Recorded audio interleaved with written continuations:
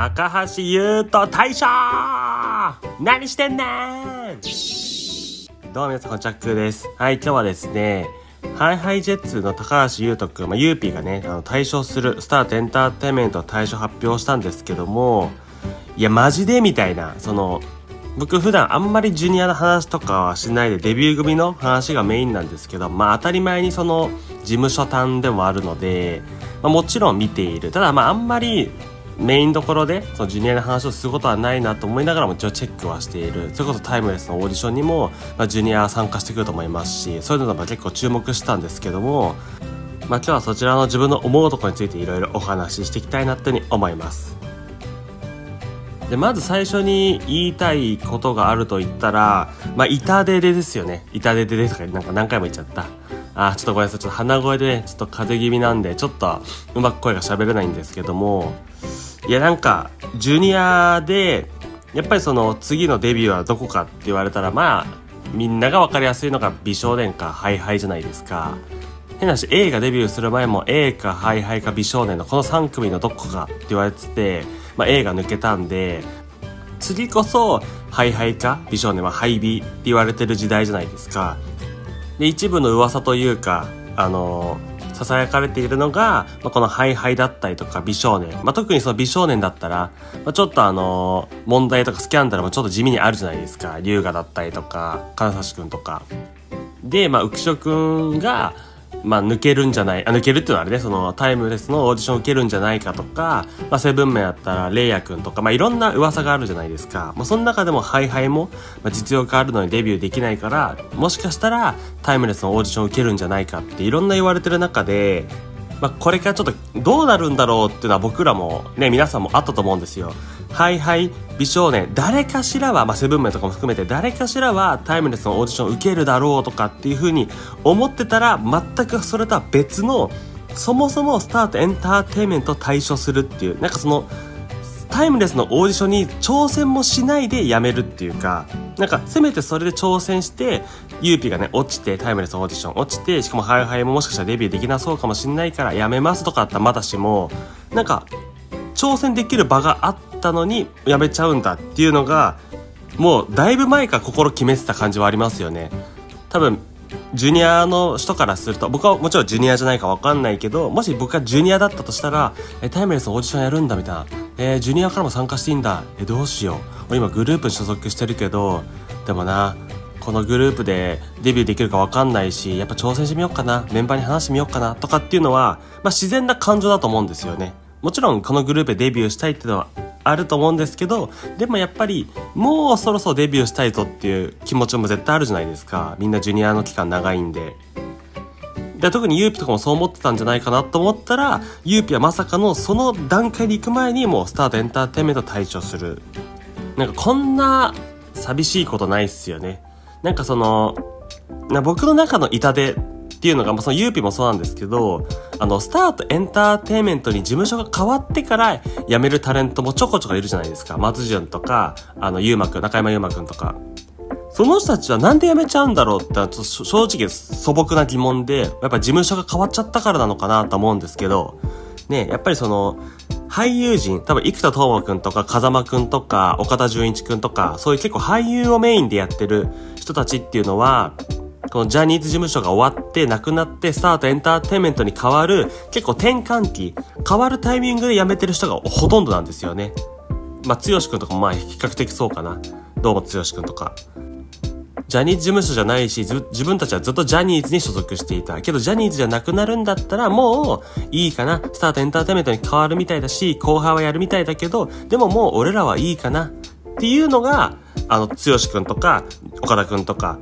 風間くんとか、生田斗真くんとかなのかなと思うんですけど、それはわかるんですよね。やっぱ転換期って感じがするじゃないですか。まあ、ウエストとか、えー、スーパーエイト名前が変わったように、タイムレスも、セクシーゾーンからタイムレスに変えたように、いろんな人たちの転換期ではあるんですけど、この中山優馬くんとか、松潤とか、このユーピーとかって、まあ、スタートエンターテイメントになって、まあ、言うて、まあ、約9ヶ月ぐらい、今年からですもんね、大体が。まあでも、ジャニーズっていう名前がなくなったのは去年の9月ぐらいからなんで、まあそっからスマイルアップって名前になって、そっからスタートエンターテインメントになってってので、もうジャニーズがなくなってから1年ぐらい経ってるんですよ。この1年経って、こっからまたこの事務所で盛り返していこう、頑張っていこう、またジャニーズ旋風じゃないけど、スタート旋風を出していこうっていう中で、まあ、次期エースが対処っていう、なんでみたいな。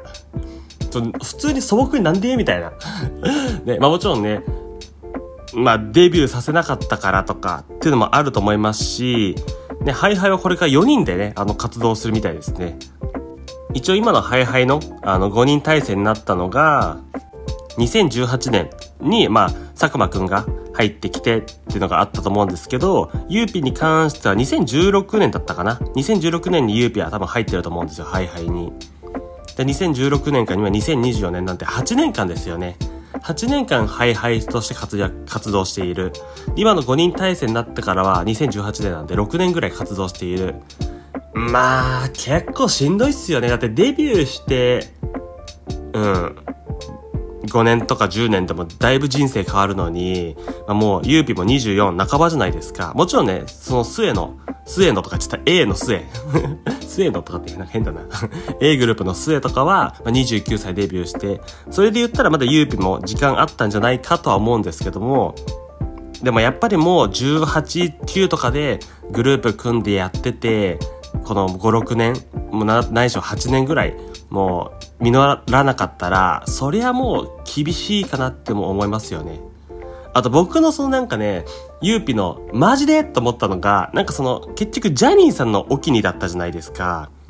ね、あのー、ずっとこのジャニーさんのお気にたちが続々辞めていくのも寂しいんですよね。もちろんその、誰が辞めても寂しいんですよ。じゃ多分これハイハイの橋本ちゃんとか猪狩くんとかが、辞めるのはもちろん寂しい。もちろんそれは寂しいんだけど、なんかその、本当にジャニーイズムがなくなったんだっていうのが、なんか、再認識されたというか、なんかどっか心の中で僕は、ジャニーズって名前はなくなったけど、まあ言うて、ジャニーズ魂、言うて、まあスタートエンターテインメントになったけど、みんな心の中には俺らジャニーズだし。ジャニーズって名前は、ね、世間一般テレビには声出しちゃい、声で出しちゃいけないけど、ジャニーズって。ただ、心の中では俺はジャニーズ、ジャニーズム。マスタートエンターテインメントだけど、俺はジャニーズイズムありますから、みたいな、そういう誇りとか心にあるのかなって思ってたんですよ。きっと思ってるね、タレントいっぱいいると思うんですけども、その、どうもと、そのジャニーさんが、まあ、まあ、好きっていうのがすげえ語弊あるな。ジャニーさんが、まあ、この子が輝けるこの子はスターの原石だってなる子たちで、やっぱ堂本剛くん、松潤、中山優馬くん、まあ、平野紫耀、まあ、平野紫耀くんに関しては、そもそもジャニーズの時に退所してますけど、まあ、このユーピー。このなんかその、ジャニーさんの、なんかジャニーさんのスペオキツなんかまたちょっとあれだな。でもジャニーさんの ね、あの、その、未来の原石。この子は輝くぞっていう先見の目が、すげえ続々やめてません？ねえ。勝利くんとかまだいますけど、なんかあまりにもスタートエンターテインメントになってから、まあだから平野くんはジャニーズ時代に辞めてしまった。で、剛くん、どうも剛くん、松潤、中山優馬くん、高橋優斗くん、UP の、この原石たちはもうやめちゃいますよね。スタートエンターテインメントだって。だからそう思うと、やっぱジャニーズとスタートエンターテインメント違うのかな？もちろん社長がね、変わったのももちろん分かってますし、見た目上変わってるのは知ってるんですけど、とはいえ僕らタレントを応援するじゃないですか。事務所を応援するわけじゃないから。まあ事務所も応援してるけど。普通に歌出して M ステ出て、普通に、あの、ドラマも出て、映画も出てなんで、そんなに僕らのスタンスは変わんないのかな。まあ、ジャニーズって名前がスタートエンターテインメントに変わっただけと思ったんですけど、こうやってね、その、ジャニーさんのお気に入りの人たちがどんどん辞めちゃうから、うん。なんかやっぱ、ユーピも思うところあったのかな、その事務所に対して。まあ、それから単純にもう、わかんないけど、もうアイドルはいいやって本当にけじめをつけたのかもしんないし。いやでもね、絶対デビューするべきだったでしょ。うーん、2024年が A, や A だったじゃないですか、デビューが。で、僕は A は実は2023年デビューだと思ってるんで、まあよくバレエの問題とかもあるじゃないですか。だから2022年にトラジャ、2023年に A グループ、で、2024年にハイビのどっちかかって思ってたんで、まあそれが多分ちょっとスタートエンターテインメントとか、その事務所のごたごとがあって、まあちょっと A が遅れたっていうのはあると思うんですよ。でも、それで言っても、じゃあ来年2025年はハイビのどっちかじゃないですか。だから、なんか、あと1年いれば、ハイビどっちかデビューできたんじゃないかなって思うんですけど、で、ユーピなんかそんなの絶対分かってるじゃないですか。あ、2025年だな、俺らは、みたいな。けど、それも、ある程度そ、そ、そんな遠い未来じゃないと思うんですよ。あと5年間デビューできないってよりは、まあ、来年か再来年だな、みたいなぐらいまでの近づいてると思うんですよね、ハイビは。けど、やめちゃうって、相当なんか腹立ったことがあったのか、相当もう、いいや、アイドルは、と思ったのか、わかんないですけど、だってセンターですよ。痛手ですよね、痛手。いやーなんかこんな才能ある人たちばっかやめていいのか大丈夫なのかな事務所って思っちゃいません、まあ、これで、ハイハイが4人でデビュー。いや、もちろんそれも綺麗な形なのかもしれないですけど、本当にこれからハイハイのメンバー4人になっちゃったんで、なっちゃうんで、タイプロとか本当に受けるかもしれないですよね。それかもう、いやでもどうなんだろうな、4人でやるのかな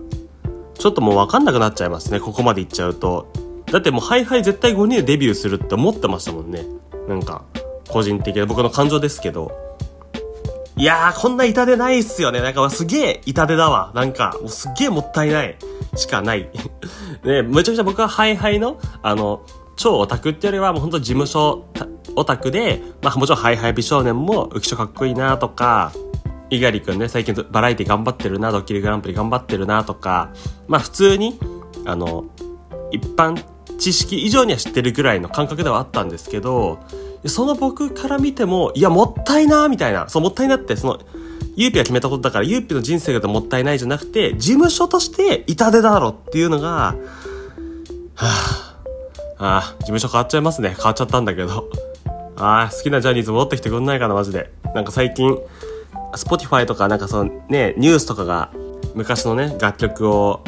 サブスク解禁したじゃないですか。それ聞きまくってるとね、なんかね、なんか俺の好きな時代だったなっていうのがすごく感じるというか、まあ時代はね、どんどん変わっていくんで、多少は致し方ないんですけど、なんかマジでちっちゃく、こじんまりとやっちゃうのかな、スターとエンターテインメントはちょっと個人的に思いましたね。なんか未来のスターこんなな簡単になくしちゃっていいのかなっていうのはちょっと思いましたね。はい、今日はですね、ちょっとハイハイのユーピが、まあ、対処するっていうのはちょっと電撃で発表されたと思うんですけども、ちょっとそれに対して自分の思うところをいろいろお話しさせていただきました。まあ、ぜひ皆さんの方でもですね、いやーもう痛手だろうっていう意見だったりとか、